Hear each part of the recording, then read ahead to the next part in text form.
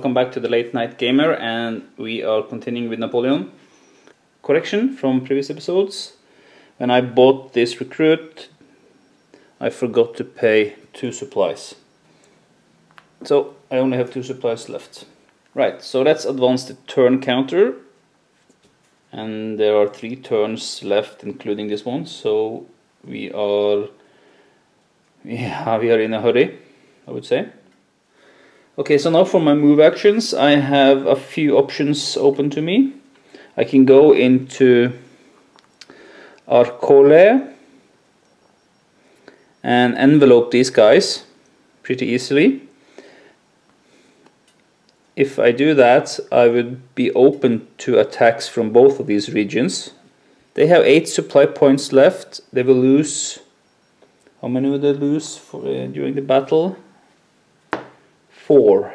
So they will add two to the die roll, and that means that they have they have a very very high likelihood of advancing on me if I'm here. They will probably do that, and I I'm not sure I can take an attack from all of these three stacks and survive. The other option I have is to go into Lonato. But then I need to leave some forces behind because these guys will either attack here or follow me into Lonato.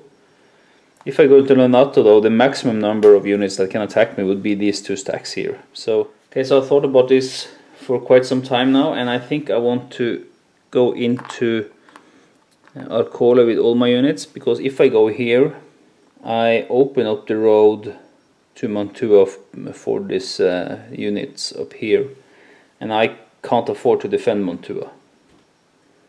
So I do this from a move order, I take every unit I have and go into Arcole. I need to leave this guy behind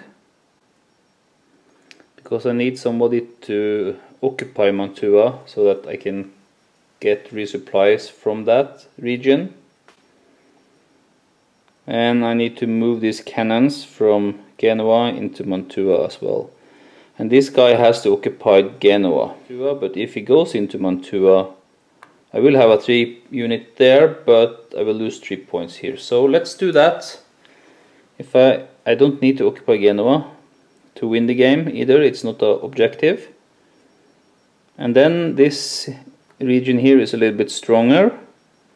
And I can have this guy go in the original movement into this region here. That was my movement step. Now we need to resolve this battle. So of course I envelope them but I want to roll uh, for fog of war first. I need to roll that for fog of war first because something may happen and when I do that they have 8 supply points. So they will use 4 supply points and add 4 to their roll. That's 8 that's 12 and I need to add one enemy garrison to the battle. It has a combat value oops sorry it has the the enemy garrison has a combat value of 5 the two units in the battle are a 4 are a 4 and a 2 uh, how much is that? 9 that's 11 so I need 33 battle points in order to envelope them. That's 20 that's 30 so I have more than enough. I have more than 33 points. So I do envelope them. Back on in Arcole I have three cannons. Ah it's not a big force is it? So now I can do a force march. And actually I think I want to do that. I, am force marching this this cannon and I pay one supply point so I only have one supply left I can't force march Garnier because I need to occupy Mantua. And I'm forfeiting three supply points this round so. Now I do get to do a resupply. Yeah. So I have three six I have I'm down to nine supply points. And I'm using four of them to, to uh, fit these guys up to full strength. And what's the cheapest unit I can get? I can get this recruit and place him here in Mantua. That leaves me with 4 supply points. I'm actually buying another recruit. Yeah, I'm buying this recruit for 3 points. Where should I put him? I'm putting him with Napoleon. 8, 9, and then I have spent this supply.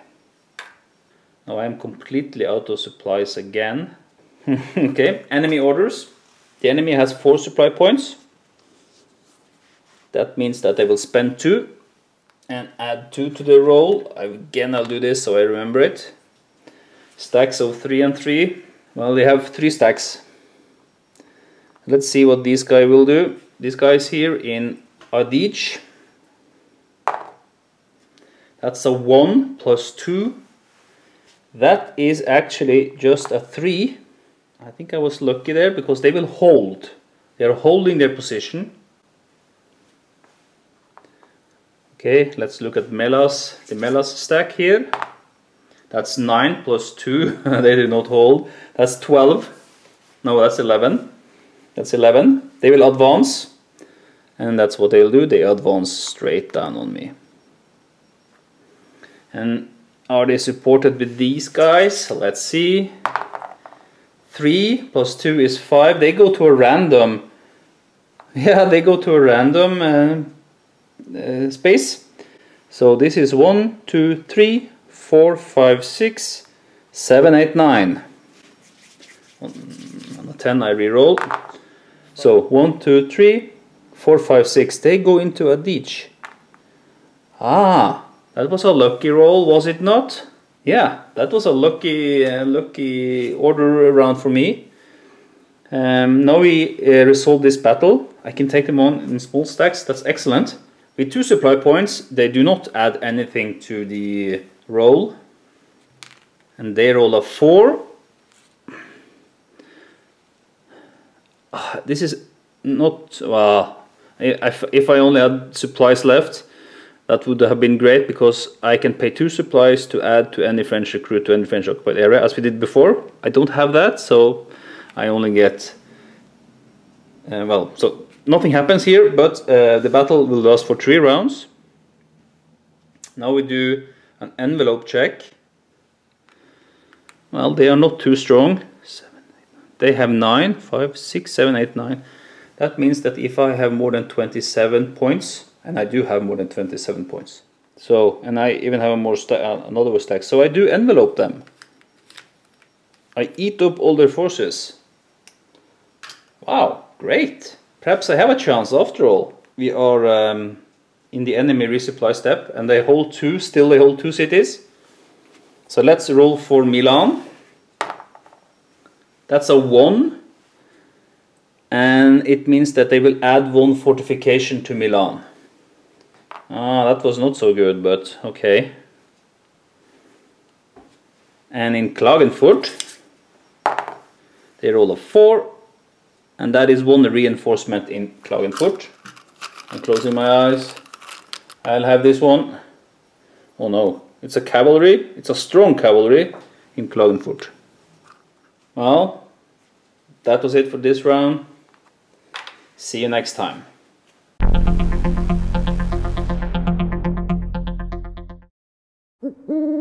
呜呜